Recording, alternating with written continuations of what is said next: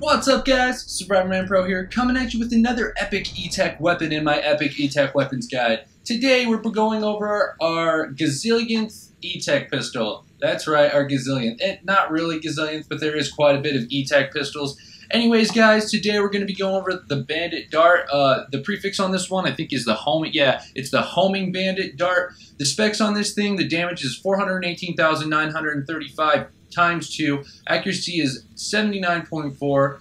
Fire rate is 2.1. Reload speed is 3.0. Magazine size is 84. Electric damage per second is 141,047.4. Chance to shock is going to be 14.4%. Has a 2.2 times weapon zoom and consumes 4 ammo per shot. That's I've usually seen 2 with these. 4 is a lot, and it does make a difference because I did run out of ammo recording uh, the gameplay uh, a couple times, and I had to go get ammo, and I edited it out because I was a little bit annoyed with it. So, yeah. Anyways, this is a shock version. I'm not the fondest of shock, but hey, you take what you get when it's an E-Tech because it's kind of hard to just go sit, go farm for a specific E-Tech. Um, anyways, guys, I ended up picking this one up in the Sir Hammerlock versus the Son of Crawmerax DLC. I have a neat little chest farming method that I do there.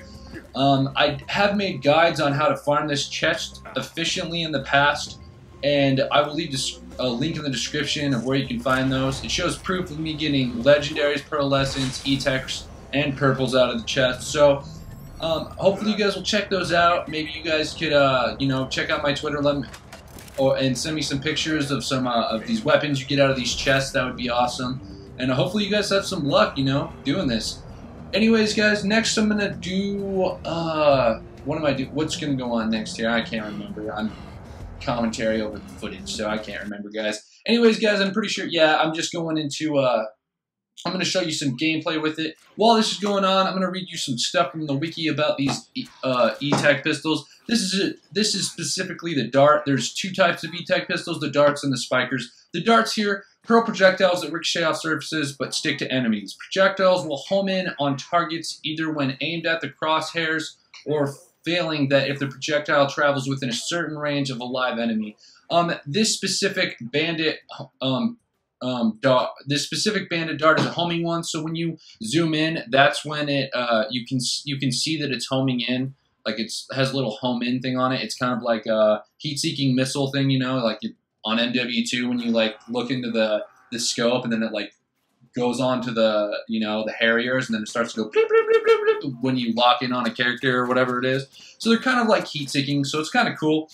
Um, uh, one thing that I have not been saying about these E-Tech pistols is really interesting and it's really important to know about these. These pistols shoot projectiles that are slow moving um, stick to enemies and explode after a delay. That's the spikers. There is no immediate feedback regarding whether a shot has hit, since the damage number only pops up when the round explodes. There's there's a delay even on the darts. The darts explode when they they hit, but there's still a, like a really short delay. Um, and important, uh, yeah, uh, note is that the, their damage statistics are often uh, offset by the fact that neither type of weapon is able to cause critical hits. Um, so even though these weapons have high damage, like when, when you see me doing these E-Techs, they seem to have high damage rates, but the problem is you, it's impossible to get critical hits with them. So they're not as good as people make them out to be in some cases. So just keep that in mind. Anyways, guys, I like these. I like bandit darts.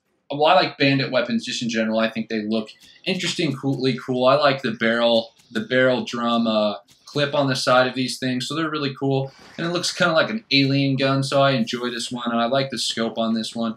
Um, it's not the most efficient gun to use for running and gunning.